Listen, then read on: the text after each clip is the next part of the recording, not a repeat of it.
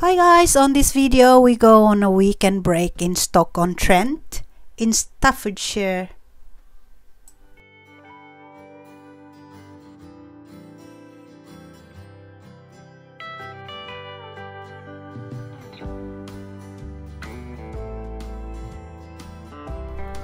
From South Yorkshire, we take the scenic route with one of the England's most picturesque landscape and amazing views, the Peak District.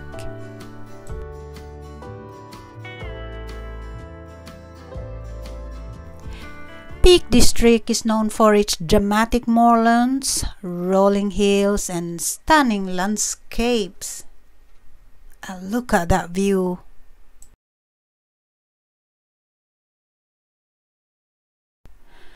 There are many places to visit in Peak District. Matlock Bath is a pretty place to visit in Derbyshire, among other historic towns and houses like Chatsworth State and Bakewell Town is really pretty to uh, visit as well. Just uh, passing Ladybower Reservoir here at uh, the Derwent Valley This is also a nice place to visit. There's some nice walks here.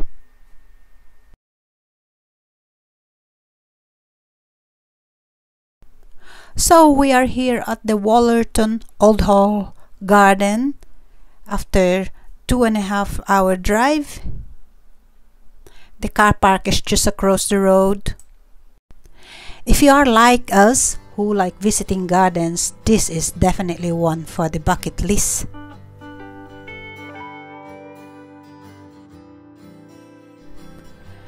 It's a delightful gardens with stunning rooms, each with different characters as well. Lots of beautiful flowers, clip hedges creating a seamless transition from one room to the other.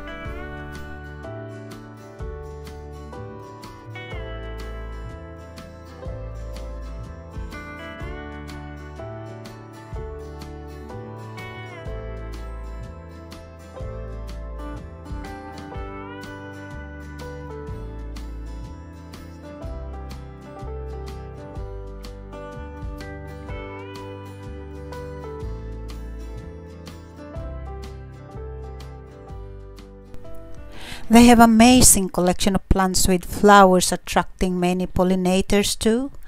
Look at these bees enjoying sipping all the nectar from these lovely salvias.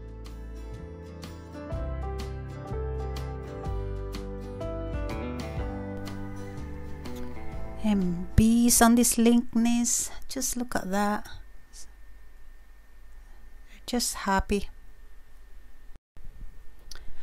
and lots of places to sit down as well when you're tired walking. A lovely lovely place. Very relaxing. I think it's about four acre.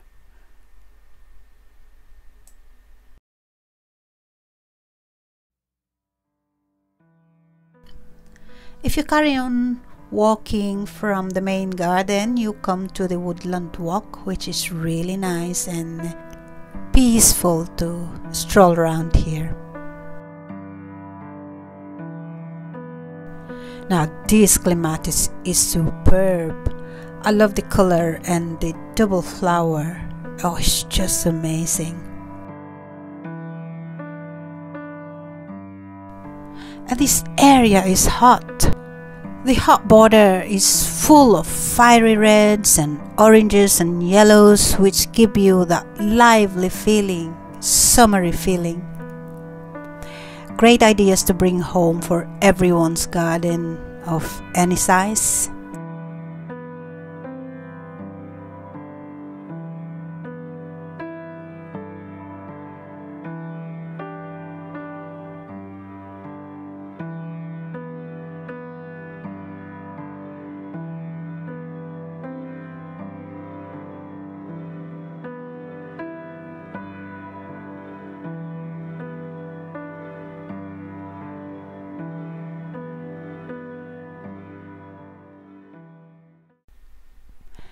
And uh, one thing I also notice is everywhere you turn, there's lots of points of interest, some seating areas, whether the pergola or the water feature.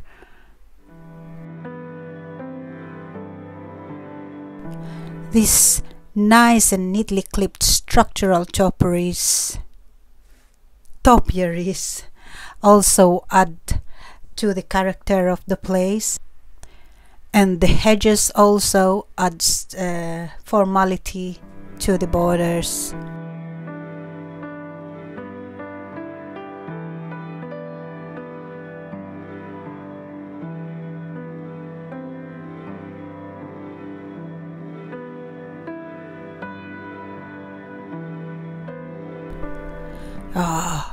pink alstroemerias are looking fabulous against the clematis behind. The color really nicely blended together.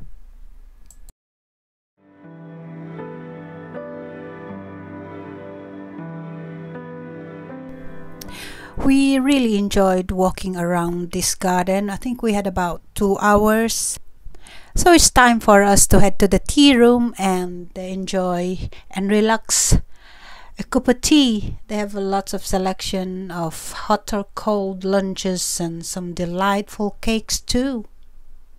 I had two mayo and Kate had the cream tea. Really, really enjoyed it. Nice relaxing afternoon. After having something to eat, we head to the plant sale, of course, and they have a selection of plants at affordable prices, including many different type of salvias. And of course, I can't resist buying a salvia. Well, plant really, but I had to choose the salvia. This place is such a beautiful garden and relaxing place to be. I would definitely come back here. Really, really lovely. We thoroughly enjoyed it. After having a wonderful time at Wollerton Old Hall Gardens, we head to our hotel and checked in for the night.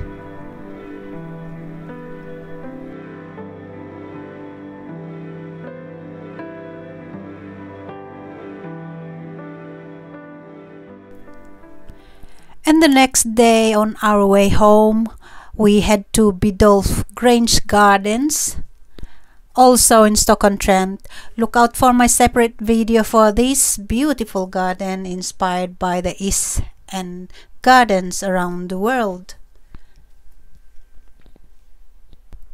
Guys, if you enjoyed this video, please leave a comment, hit the like button and subscribe. Thank you very much for watching.